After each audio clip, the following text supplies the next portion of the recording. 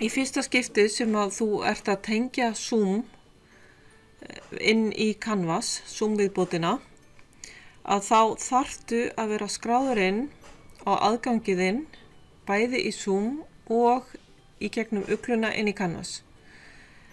Þannig að þetta þarf að vera sama netfang og uh, þú þarft að vera með sérst, licensed, sérst, educational license á Zoom sem að þú ert færð uh, frá upplýsingateknisviði í háskólanum.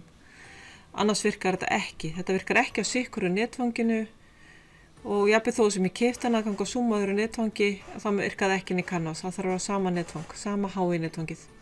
Þannig að þú fer bara að byrja að fara í ökluna og ég ætla að logga mig þar inn sem, já, Sigurbjörg, það er sigurbjörg.hi.is, ég skráði mig inn og síðan fer ég í zoom.us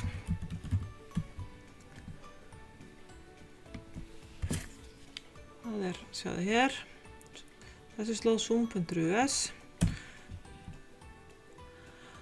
og hérna er hægt að skrá sig inn þar. Hérna maður sjá. Mm.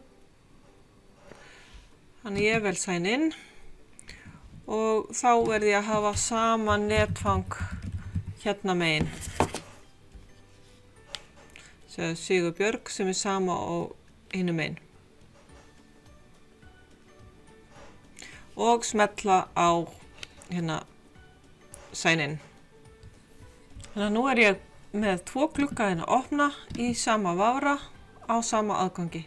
Þannig að námskeiðis ég ætla til dæmis núna að fara að setja inn á segjum það væri hérna internetið upplýsingaleitir smetli á það og það opnast í Canvas. Og þá get ég farið eh, og náð mér í þennan Zoom tengil sem ég er búin að setja hérna inn og annað slíkt. Þannig að ef að eh, til dæmis núna því þetta Zoom að því að hérna er ég raun að búin að þessu og það er rauninu vídeo sem fari gegnum þetta ferli. En það sem að gerist ef ég myndi alltaf fara að setja upp Zoom og væri ekki lokkuðinn þá myndi bara ekkert gerast. Það kemur bara hvítur rammi og hér myndi ekkert gerast.